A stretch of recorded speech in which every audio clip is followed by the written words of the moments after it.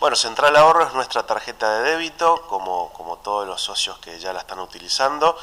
Lo pueden usar en cualquier comercio adherido a, la mutual, como es también tarjeta central, nada más que en este caso no es una tarjeta de crédito, sino que es una tarjeta que se hace en consumos con el saldo que hay disponible en la caja de ahorro del socio que tiene en la mutual. En este caso estamos saliendo con esta, con esta acción comercial, eh, un poquitito tratando de ayudar al comercio, pero esa ayuda volcándola a, la capacidad de, a la capacidad de consumo del consumidor, entonces estamos lanzando este 5% de reintegro en todas las compras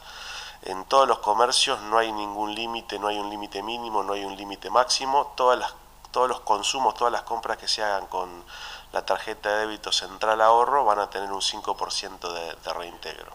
Máximo lo da su capacidad de ahorro que tenga precisamente en su cuenta. El máximo está en el saldo en la caja de ahorro. Eh, o sea, vos tenés 5 mil pesos en tu caja de ahorro, hasta 5 mil, o sea, la, tarjeta lo lee, lee esos 5 mil pesos como saldo disponible, si tenés 150 mil podrás comprar por 150 mil, no hay, no hay ningún tipo de límite, como tampoco lo hay para el reintegro.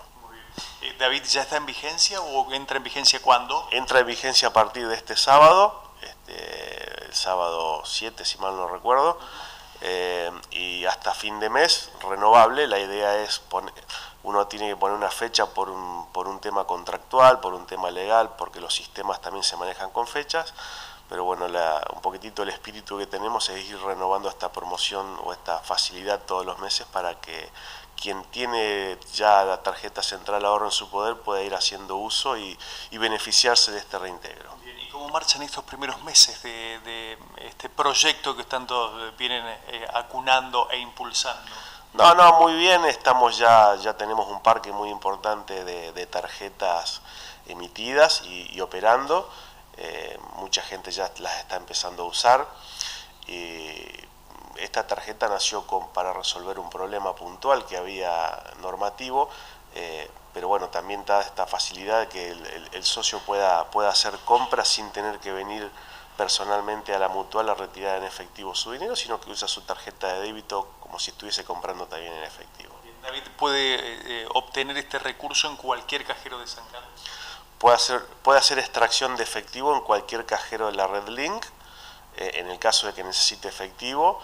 y,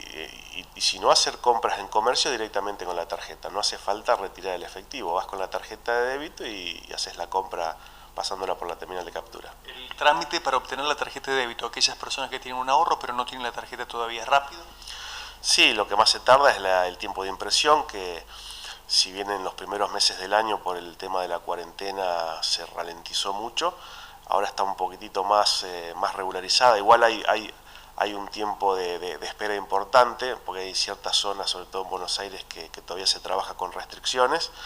pero bueno, la idea es que si la persona viene y pide la tarjeta, si aún no la tiene eh, y, la pide, tendremos un tiempo de espera de una semana, 15 días aproximadamente hasta recibir el plástico.